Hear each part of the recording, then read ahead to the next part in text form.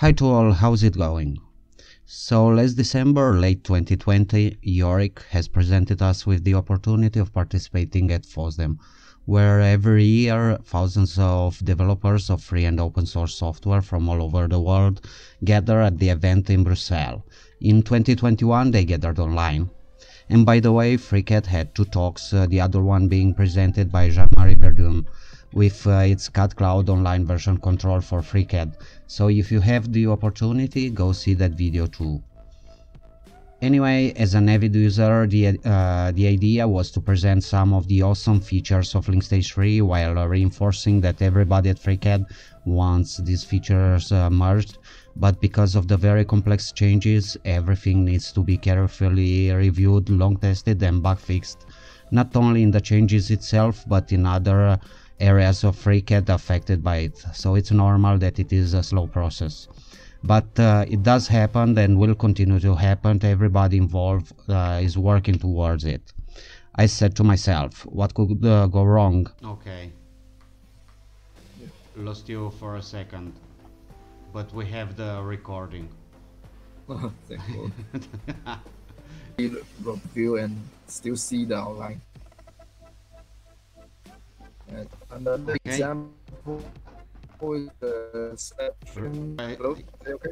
Uh, I can hear you, but your uh, but your camera is stuck. And why not make it uh, even more interesting? Let's go directly to the source, creator. So this is the outcome uh, of the talk. Enjoy. Hello, my name is Querelario Florin, uh, aka Oficine uh, Robotica in the forum, and I run a small YouTube channel where I uh, try to promote and showcase FreeCAD as um, software and also bring news about the ever increasing uh, number of new features that its uh, developers bring on a ever increasing pace. Together with me is uh, Zheng aka Real Thunder in the forum, one of, of the um, developers that uh, is pushing FreeCAD to um, new limits and with whom I had the pleasure to interact a lot in a really constructive uh, and uh, positive manner. In fact, the idea for this talk uh, has uh, has come taking a look back at the awesome uh, outcome that this positive user-developer interaction can bring in an open source development environment. Hello, Real Thunder. Would you care to present yourself? Hi, everyone. Uh, my name is Zheng Lei. It's uh, difficult to pronounce for the Westerner, so you just call me by my uh, foreign name. Real Thunder will be enough. Today, um, I'll be first to introduce my uh, FreeCAD uh, link branch. I will talk about the, the past, the origin of this branch, and then to present you the new features, and we'll talk a little about the future development plans. Yeah, this is my name. Okay, first the past, I first used the FreeCAD 0.13 version back in 2014. And uh, I want to build uh, of my own device. Back in the day, the uh, Google Glass is uh, rich, has reached its peak uh, impact, but then it went downhill. So I think maybe I can do a better job. So you can see that my device is uh, at the top. It shapes like a headphone and had the head display. Uh, I used the assembly tool workbench to uh, assemble my device. I find it works well for assembling purpose, but then it has some problem when you try to update your design. Okay, I first uh, made some contribution to FreeCAD about the GUI tree view improvement, then uh, did a little uh, something on the path workbench, mostly because I want to do the PCB milling. Uh, yeah, then came the idea of uh, improving the assembly uh, capability of FreeCAD. So I first made some discussion in the forum about the ideas of a link, which is an easier way to share the, both the geometry and the visual uh, of of the same instant uh, of the same part. So I uh, went out and implemented the link in the same year. Uh, because uh, link is a complex feature that involves a lot of changes in the core, so uh, it was pretty difficult to uh, get accepted. So I created the Assembly3 workbench as a demo, and also test as a test of my link feature. I attempted two pull requests, both in the two, 2017 and 2018. Uh, but as expected, uh, both PR got pending. But I continue to work on the assemblies. I have my Assembly3 allows uh, to use any geometry for constraining from the auxiliary objects like Datum and uh, uh, Sketch. I, I created a Sketch export functionality to allow the user to export the Sketch edge, including the construction lines. Uh, but the export is not uh, very stable because of the infamous topological naming problem in FreeCAD. And uh, so, uh, like the famous quote, I came, I saw, and I conquered it. I implement the topological naming framework. Uh, yeah, it's a it's a joyful ride. I later on I uh, refactored the step import and export, uh, mostly using my link feature to greatly improve the its efficiencies. Uh, it has enabled FreeCAD to import uh, some large assembly files that previously it's not possible. Yeah, the next feature to get uh, linkified is the expression uh, together with the, the spreadsheet uh, workbench. I uh, didn't just add the support of a link into the expression. I have expanded into a full-fledged uh, language with a Python-like uh, syntax. Uh, they came uh, came uh, to 2019. Uh, my link features finally got merged into the FreeCAD 019. It's the third attempt. That's why my branch is called Link Stage 3. It's because of the third attempt. This stage, yes, the, because of this. To, the the third time is the charm. Oh yes, okay. yeah. so the yeah. Uh, Just like, briefly, uh, why were there um, so many difficulties in linking um, in um, merging the PR uh, request? Uh, because uh, the changes were really extensive in the core. Yes, because the core has to recognize that the link is a special object. It does not uh, have its own geometry data or visual data. It has to pull the to follow the link to get the, the actual data. The yeah. actual so data. the yeah, yeah. So the uh, changes are extensive, and the the other developer has to review it, and the, the merging it took a lot of effort. But uh, in the end, um, it was uh, really worth it because um, one big lack uh, of FreeCAD uh, in its uh, default. Um, configuration was the lack of an assembly workbench. Yes. Now, in the latest release, and we'll hopefully um, see uh, stable release really really soon of uh, 0.19 of FreeCAD 0.19 now we have uh, by default uh, Assembly3 as a workbench. Okay we have uh, the assembly uh, we actually have a few variant of the assembly workbench. I can't see which one will end up in most likely none of them will be uh, built into the FreeCAD for the near future. There will most likely a synergy of all those workbenches took various features from them and then uh, maybe later we can have a better assembly workbench. Right now the user has a few choice of uh, additional uh, add-ons. Uh, there yes, is uh, another assembly workbench that uh, is heavily relying on your modifications and that is assembly 4 yeah assembly 4 offers a different approach for the assembly. The user has total control of the constraining by writing the uh, expression but you or by ex explicitly uh, create the the mating of the part. Okay uh, my work continues. I didn't stop here because uh, uh, as you know, as a normal user, I struggled a lot with the FreeCAD, just like everyone else. Uh, then I suddenly become a master, sort of. So, uh, you know, the feeling, it's feeling very empowering. So, yeah, I continued. I added the possibility to save the FreeCAD document as uh, uncompressed directory uh, with the files that are suitable for external version control software like Git. Uh, so maybe the next step will be someone to implement the version control uh, functionality into the FreeCAD. Was this a user request or was this uh, one of your um, one of your uh, needs? Yeah, Yes, uh, I think both because we all know that uh, for CAD projects, especially the assembly, it involves uh, a lot of files. So you have to have some way to manage the different versions. Yeah, I do use uh, Git before even I start to contribute with FreeCAD. But then the FreeCAD file format is binary. It's not really friendly for the version control. So this is a direction for future development. Yes. So this could be also really useful for people that work in teams. Yes, yes indeed. Okay, I then uh, spend a lot of time to improve the 3D selection and rendering work, which I will be showing you in the later videos. I also started to improve the part design workbench, uh, focusing on a better support of uh, multiple solid. Yeah, uh, now it's the present. It's mostly my 2020 uh, work. I started to put more time to improve the FreeCAD user interface. The first one I tackled is uh, the overlay user interface.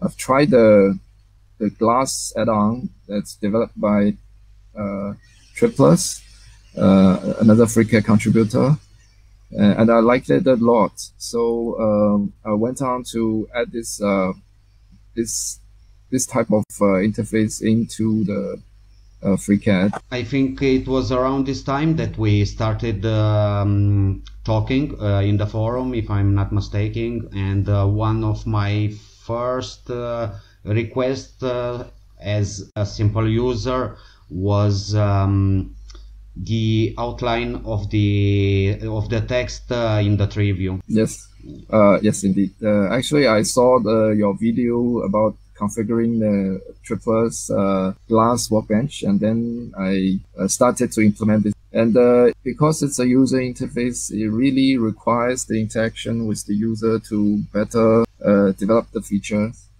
because it's for the user directly.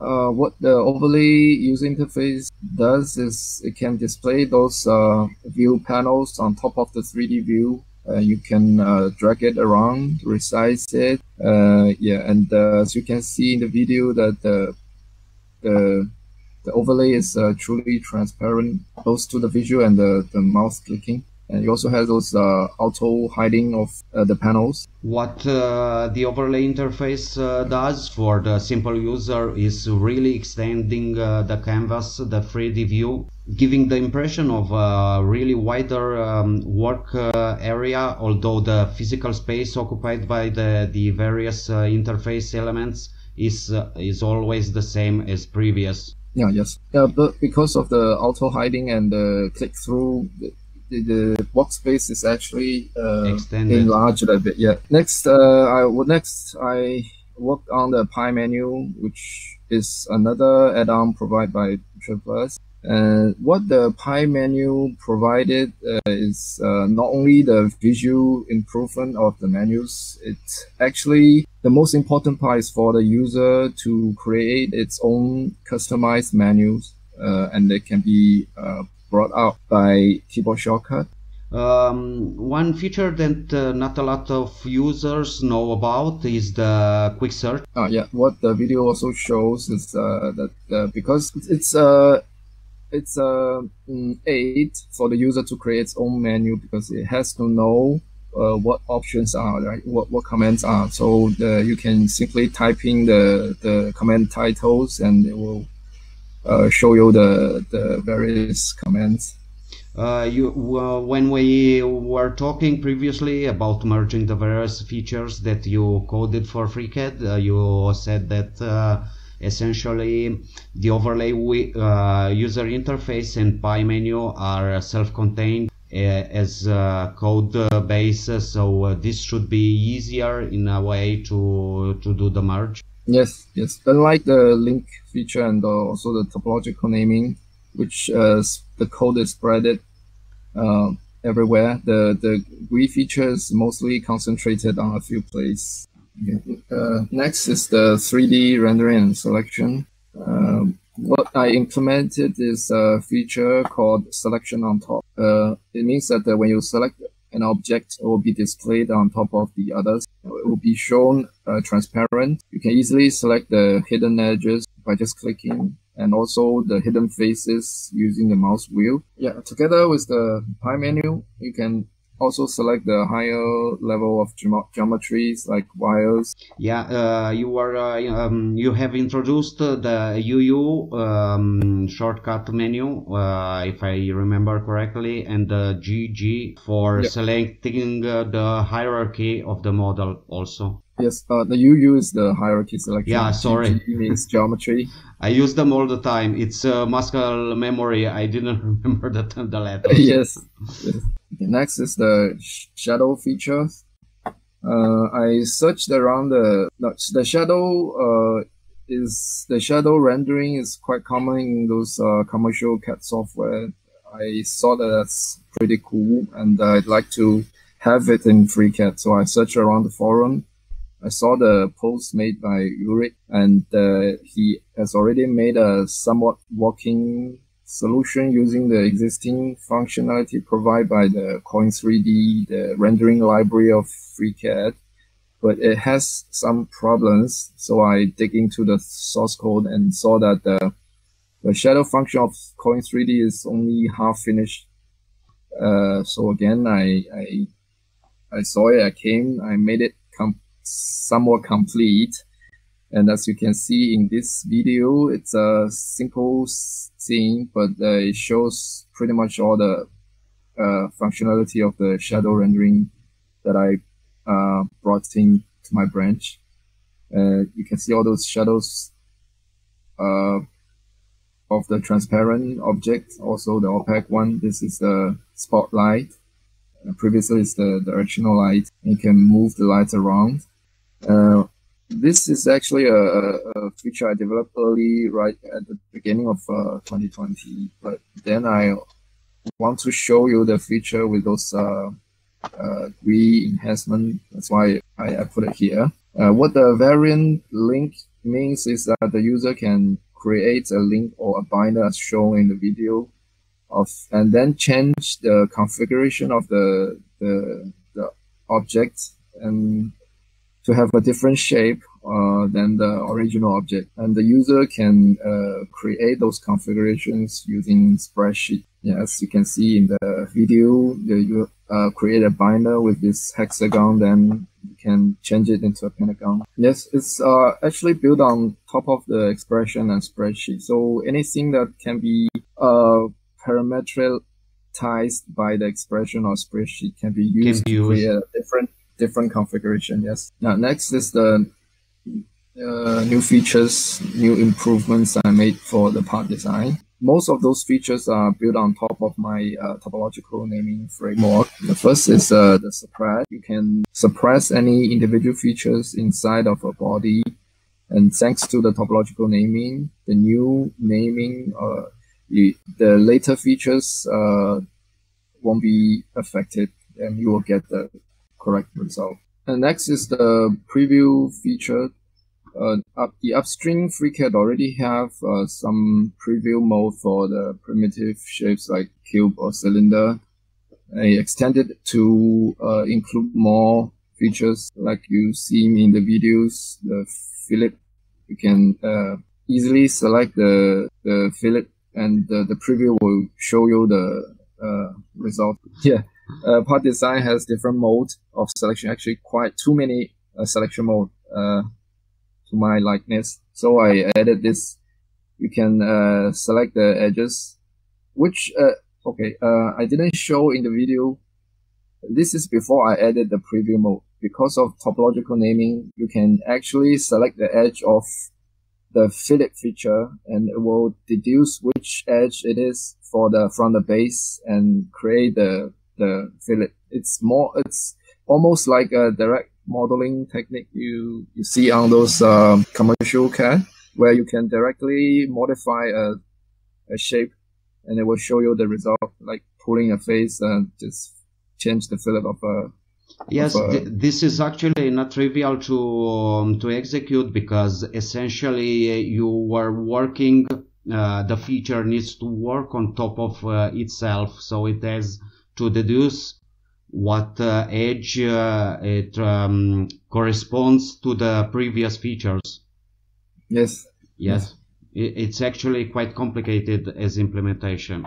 Uh, next, I've added a few new tools to the part design. The first is the split uh, feature. It is uh, borrowed from the part workbench, uh, the slice feature from the part workbench. It allows you to uh, slice geometry using a Datum or other non-solid surface. Uh, it also works uh, a bit like the compound explosion in the part, which I will be showing you uh, in the later video. Next is the extrude. Basically the same as the pad feature, except that it's uh, mostly used to create non-solid features like uh, extrude the edge into a surface. And uh, you created the edge, uh, the extrude tool to permit uh, this function inside the part design workbench, thus uh, eliminating the need to jump between the part, to jump between different workbenches to execute the same um, operation. Yes, it's actually a quite common complaint about the part design because it's uh, like support of non-solid. you have to rely on different workbenches to, to do this. So I've been thinking of this uh, quite often to how to introduce the non-solid features into the part design. This is one way, the extrude is one way, the other is the, the shape binder. Yeah. Or uh, I didn't include in the slides. The shape binder is also able to uh, bind different edges and create a new surface. Okay. The next tool is called the generic pattern. It's meant to showcase the the power of the new extended expression. Uh, yeah, with the Python-like syntax, you can basically create any customized pattern uh, using the expression. A wrap feature which is another effort of bringing different uh, workbenches to work uh, uh, to work together uh, inside the part design. It allows you to wrap uh, basically any feature from other workbenches and use inside the body.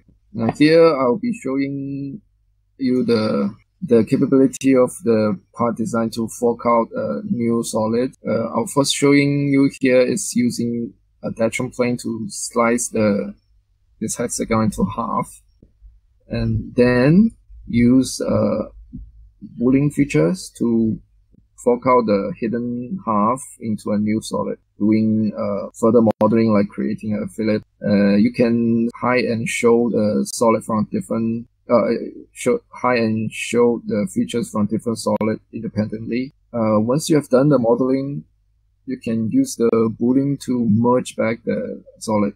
Uh, next is the, the grouping capability of the uh, part design features. The, basically is that uh, if you have a long history of the, your model have a long history, you can uh, collapse any later feature, collapse the history steps into a later feature. You can easily expand it or uncollapse the, the features. Uh, um, uh, you also added the possibility to, for the user to um, add custom folders inside the tree view for ordering uh, for a more uh, clean uh, tree view.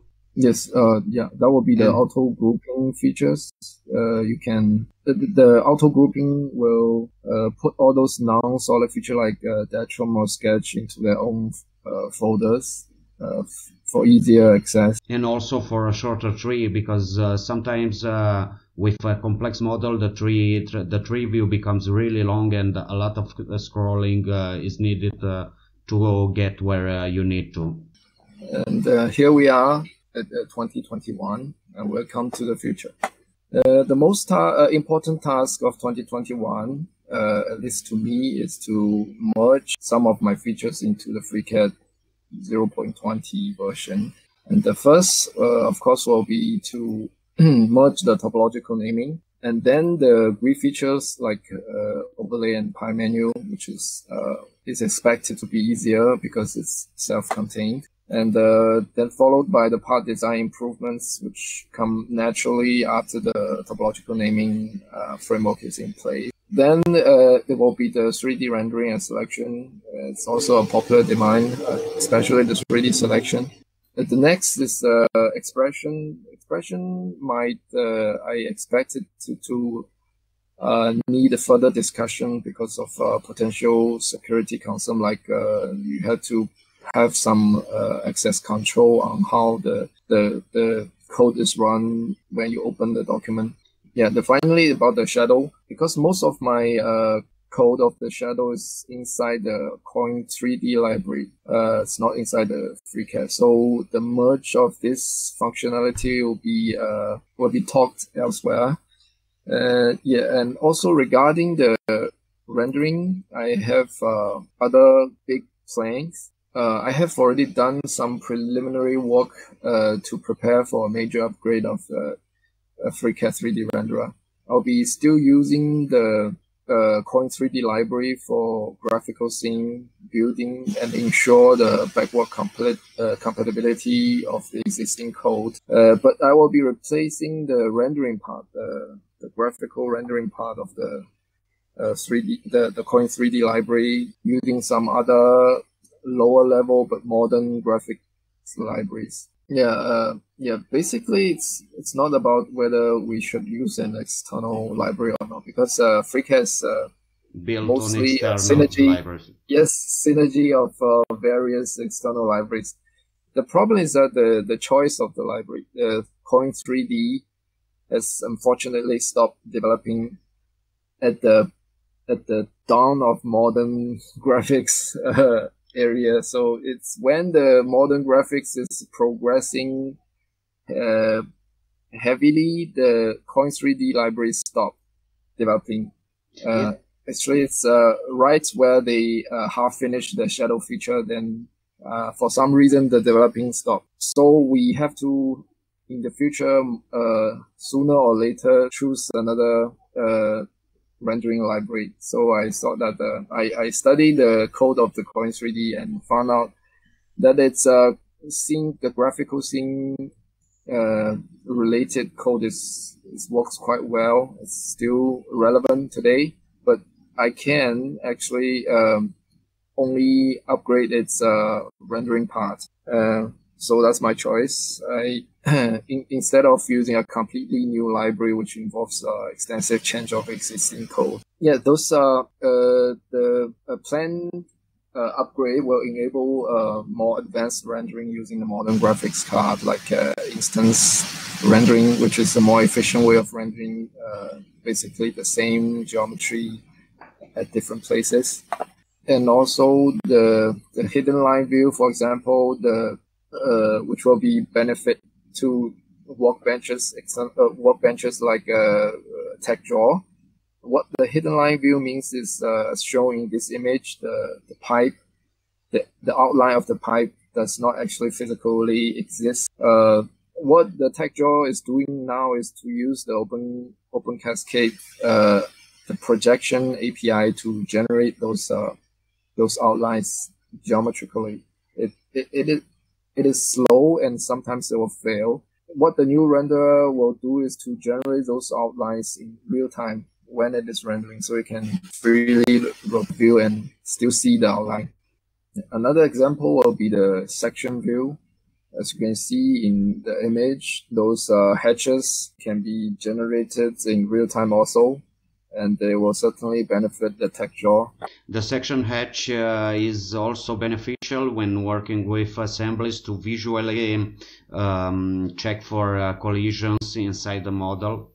Also, uh, some other features to improve uh, large-scale assembly rendering, like the level of details, so the renderer can uh, choose a different resolution of parts to render the parts depending on their distance, uh, and also hardware occlusion uh, to hide the to skip the parts that uh, are occluded or too far away. Yeah, all those features uh, talk uh, require the, the shader based rendering. So once we have uh, established the, the framework for the shaders, some other better uh, visual enhancement will come naturally, like uh, the better shadowing, ambient occlusion we talked about, and also more realistic looking materials and proper texture mapping, etc. The lower level modern graphics library I mentioned, uh, there are actually several choice. The first choice is a library called the Diligent Graphics, a relatively young library, but it has um, it follows the de- development of modern graphics card uh, quite closely. Like the, just a few days now, they released the API for the ray tracing. Oh, that's interesting. Uh, yeah. Yes, they uh, they have support uh, of different um, graphics interface on different platforms like uh, like Vulkan on Linux and uh, on Windows will be DirectX uh, 11 or 12, and then on uh, Mac OS, uh, it's although it's not uh, uh, directly supporting its Metal interface, but there will be a, a bridge interface called Molten VK. yeah, the Diligent will be using that for supporting Mac for OS. Supporting. The other alternative is BGFX, BGFX, maybe I don't know how it's pronounced. Yeah, it's similar to Diligent Graphics, but uh, relatively more mature, you can say, and has uh, a larger community, uh, rich tutorials and examples. We'll see which one is more suitable for for using FreeCAD. Yeah, uh, um, how I can see it uh, from uh, your point of view, uh, BGFX uh, perhaps uh, has more documentation it makes your life easier but it has a little less um, uh, how do we call it features uh, uh, respect to diligent graphics yes you can say that and also uh, by i search around it seems that the the bgfx has uh, some uh, difficulties in use in qt the the GUI framework that used uh, in FreeCAD. Yeah, uh, Qt is actually one of the main pillars of uh, of FreeCAD, so uh, that uh, could be actually a showstopper. Yeah, it's uh, it's just a difficulty. It's not like impossible or something, but it still requires further investigation. Okay, uh, Real Thunder, that was a wrap. So uh, it was a really nice, uh, nice talk. Full of uh, you presented uh, uh, a lot of features, a lot of projects for the for the future. This shines a really bright light on the future of FreeCAD and uh, with the recent uh, arrival of um, lots of uh, users we we can make this community ever growing and a lot a lot happier thanks to your incredible incredible work. Okay. okay. Thank you artie i think we made it for the, yeah, yeah. the the first time is the charm okay. okay. I'll have to go, uh, man. Uh, it's one o'clock in the uh, night. Okay. Yes. Yes. Thank you very much. I'll edit the video and I'll send you the link. Okay. Thank you.